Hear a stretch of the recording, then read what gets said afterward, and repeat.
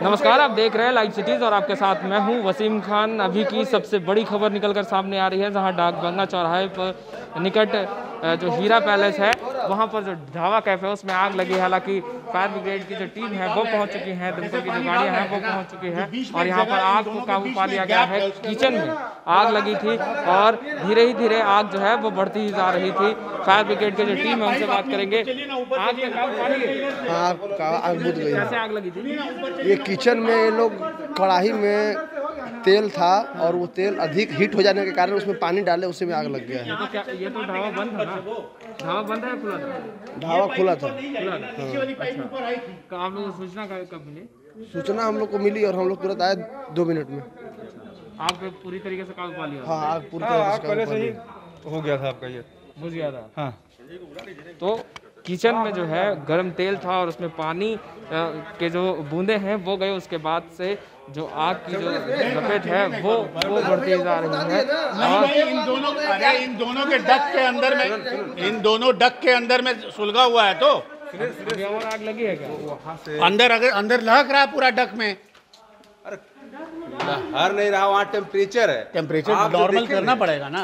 अरे वो कर देगा आप रास्ता तो पति बाहर से है ना रास्ता? ऊपर से है ना। तो ऊपर से मार देगा क्या दिक्कत है? कह रहे हैं चलने के लिए। तो जो लोग हैं वो अभी कहते नज़र आ रहे हैं कि आग की जो लपेट है वो ऊपर तक है और ऐसे में जो तमाम फायर ब्रिगेड की जो टीम है वो पहुँची है और आग पर नियंत्रण पा लिया गया है और यही वो ढाबा कैफ़े है जिसमें आग लगी थी। हम किचन भी आपको दिखाना चाहेंगे कि किस तरीके से इस किचन में जो है वो आग लगी थी। हालाँकि लोगों ने जल्द से जल्द सूचना पहुंचाई। फायर ब्रिगेड की टीम पहुँची और आग पर भले ही काबू पा लिया गया है मगर जो धुआँ है अब भी आपको दिखाई देगा। और यहाँ पर जो फायर ब्रिगेड की टीम पहुँची थी उन्होंने तत्काल कार्रवाई करते हुए आग पर काबू पाया है। यही वो किचन है और उस जो आप देख रहे हैं वहाँ पर आपको एक चूल्हा दिखेगा। और वहाँ पर एक जो कढ़ाई रखा हुआ उसमें तेल था गर्म तेल था और ये ढाबा जो है खुला हुआ था।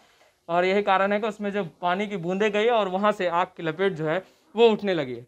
जो लोग हैं यहाँ पर वो अ, उन्होंने देखा और जल्द से जल्द सूचना दी इसकी। उसके बाद से फायर ब्रिगेड की टीम पहुंचकर आग पर उन्होंने काबू पाया है। और लोगों का कहना है कि ज़्यादा नुकसान नहीं हुआ है मगर होली का समय ऐसे में तमाम जो दुकानें हैं वो बंद दिखाई दे रही है ऐसे में आग का लगना कहीं ना कहीं एक बड़ा घटना हो सकता था मगर जल्दी एक कार्रवाई करते हुए फायर ब्रिगेड की टीम यहाँ पर पहुंचकर आग पर काबू पाई है। भैया कब लगा था ये आग? आग अभी लगा था थोड़ा देर पहले। थोड़ा देर पहले लगा। अच्छा कैसे लगा था भैया? वो तेल का पानी पड़ा था उसमें बस और कुछ नहीं था। वो तुरंत हम लोग काबू पा लिए। आप लोग तुरंत काबू पा लिए। तो आपने सुना किस तरीके से हालाँकि धुआँ जो है अभी भी है मगर यहाँ पे फायर ब्रिगेड की टीम भी है लोग भी हैं और लोगों का कहना है कि ज़्यादा नुकसान नहीं हुआ मगर अगर जल्द से जल्द आग पर काबू नहीं पाया जाता तो बड़ा जो हादसा है वो हो सकता था और नुकसान जो है वो हो सकता हो सकता था। अभी अभी तो हम लोग को थोड़ा काम करना है। कहीं ना कहीं पहुँचे हैं।